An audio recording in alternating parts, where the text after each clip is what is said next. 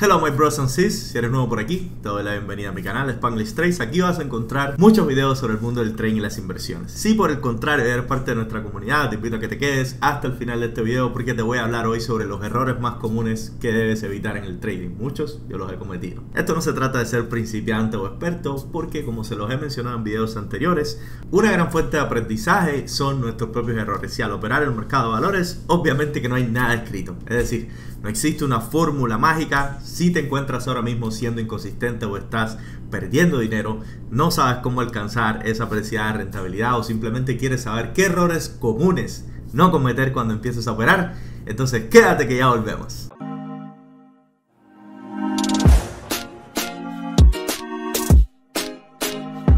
Bueno, mi pros hoy vamos a hablar sobre los errores más comunes que cometemos los traders. Ponle bastante atención porque hay muchos que puedes evitar fácilmente simplemente con anotarlos y tenerlos presentes. En primer lugar, y creo que este es probablemente el más común, es creer que esto es pan comido.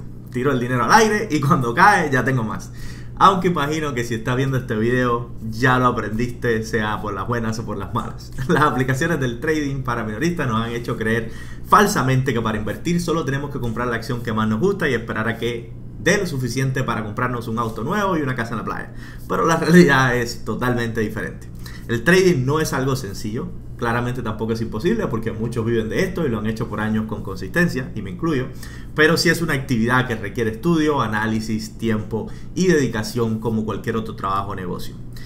Piensa en todo el valor que tiene el aprendizaje para un doctor, por ejemplo, o cuántas horas de simulador tiene que hacer un piloto antes de poder volar un avión con consistencia y sin equivocaciones.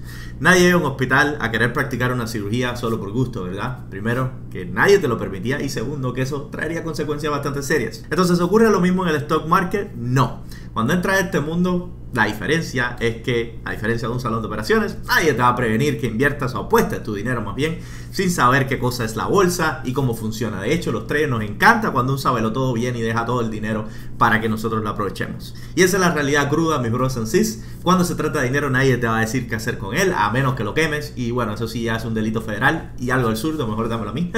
si empiezas a operar sin tener el conocimiento adecuado, al menos de las bases, los resultados no van a ser nada buenos y puedes olvidarte de nada que se asemeje a resultados consistentes. Así que aprende de los errores, pero sobre todo aprende. En segundo lugar, otro error muy común es no tener claro un plan. Es decir, puede que seas principiante o lleves un tiempo haciendo trading, pero si no tienes un plan, ¿hacia dónde estás apuntando?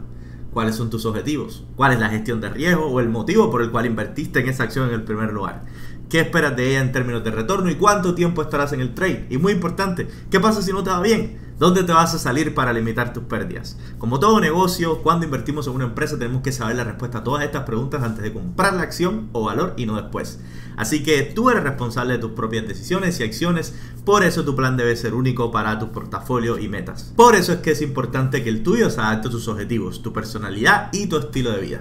También es muy importante que tu plan incluya los mejores y peores escenarios posibles. Por ejemplo, como dijimos anteriormente, cuánto estás dispuesto a arriesgar, así que piénsate este punto muy bien porque no quieres perder más de lo que estás dispuesto y todo puede pasar en un mercado financiero que hará que cambie tu proyección original o tu plan original.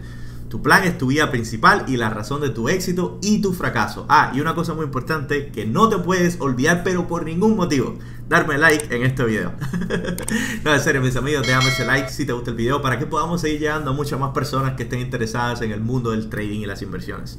No te olvides de suscribirte sin olvidarte de la campanita, ¿eh? Campanita incluye My Bros and Sis para que no te pierdas ninguno de nuestros videos tutoriales y live streams con información del mercado y las acciones. Bueno, vamos a continuar. Otro error muy pero muy común es hacer el trading demasiado complicado al principio. ¿Cómo es esto? Pues bueno, muchos traders se ven enredados, ahogados por la cantidad de información y diferentes formas de hacer dinero en la bolsa. Entre los muchos indicadores técnicos, teorías de cómo funcionan y todas las miles de estrategias que existen, es muy fácil sobrecomplicar la manera de operar hasta un punto en el que perderás muchas oportunidades. ¿Has visto alguna vez esa gente que tiene miles de indicadores en sus gráficas? Lo más probable es que si los ves, pienses que tu manera fácil de hacer las cosas está incorrecta. La realidad es que con los años me he dado cuenta que incluso los traders profesionales valoran la simpleza en sus operaciones y no usan demasiado para operar. Viene con la experiencia, yo creo, así que cuando tengas las estrategias ganadoras, no las compliques tratando de validar demasiado lo que ya sabes y aprendiste. No hay fórmulas secretas, tienes que encontrar tu estilo y eso toma práctica y tiempo. Es mejor operar desde la base que se tiene que desarrollar un estilo propio y la mejor forma de operar no es conocer un montón de estrategias, indicadores y métodos, sino encontrar aquellos que al final se adaptan a tu estilo y terminan siendo rentables y realistas a tus conocimientos ya que con el tiempo tendrás la oportunidad de agregar nuevas herramientas a ese trade. Así que en este punto, mi consejo es que trates de mantenerlo simple. Es cierto que como dije antes de que me dieras el like en el video, no es algo sencillo, pero tampoco imposible, así que para qué complicarlo más cuando aún no dominas lo básico. Las bases te darán la rentabilidad necesaria para evolucionar tus trades. Mantenerlo simple es encontrar y desarrollar métodos que sean efectivos para ti y funcionales. Y aquí aplica la individualidad emocional de cada trader. Y por supuesto, tienes que desarrollarte para cumplir tus objetivos y no los de más nadie. Otro grande y común error que probablemente sea la razón número uno para abandonar el trading es no comprender cómo administrar tu propio dinero. Siendo honestos, puede que esto no sea lo más emocionante, pero si es algo de mucha, mucha importancia, si quieres ser bueno en esto a largo plazo. Tener una buena administración de tu dinero va a determinar varias cosas importantes como por ejemplo la cantidad de capital que vas a invertir y que estás dispuesto a arriesgar dentro de una operación y entender que lo más que te pongas una operación, más emociones tendrás a la hora de operar.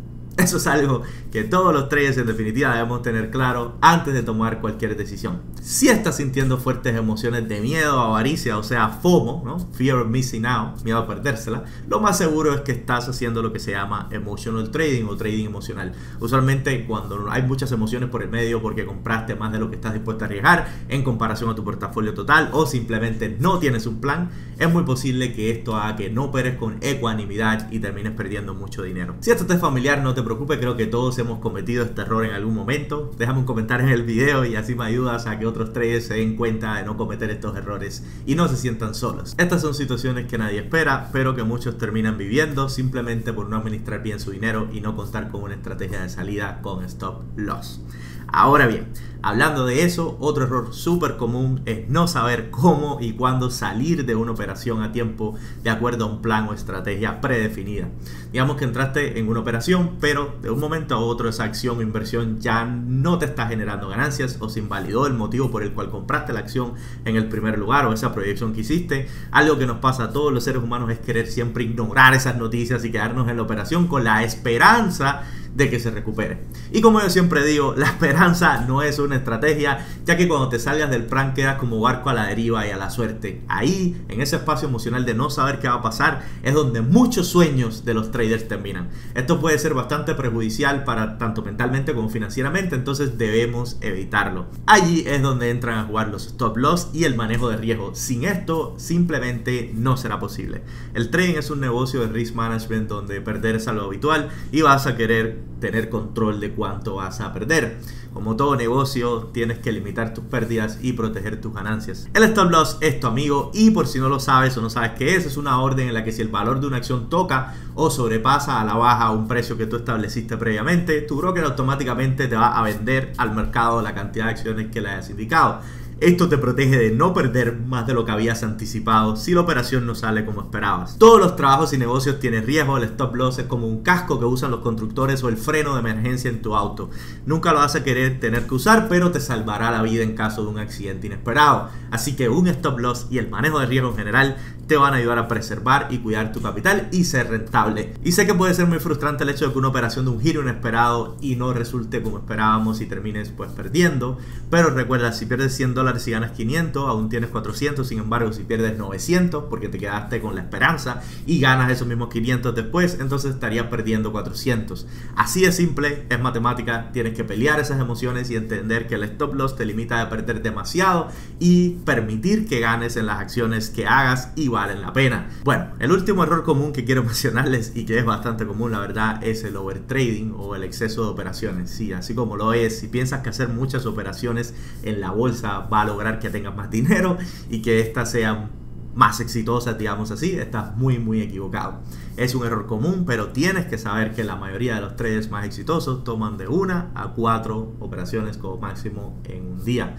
Esto te permite hacer buenos análisis y tener mejor control del desarrollo de tus trades, sobre todo al principio cuando aún estás aprendiendo a operar. Por ejemplo, yo por muchos años fui víctima del overtrading hasta que creé una regla de no hacer más de tres operaciones en el día, me creé el hábito y eso me ayudó a asegurarme que las operaciones que tomé en ese momento eran de la mejor calidad posible. Ahora tomo más a medida que pues, me siento cómodo, pero siempre respetando mis reglas. Ejemplo, cuando estoy teniendo un día muy malo, porque no me dieron like en los videos, chiste malo, pero en serio, como decía, cuando estoy teniendo un día malo y hago tres operaciones perdedoras en el día, en ese momento cierro y termino por el día. Es una regla personal, pero me he dado cuenta que cuando las emociones comienzan a asomar la cabeza, simplemente es mejor no operar.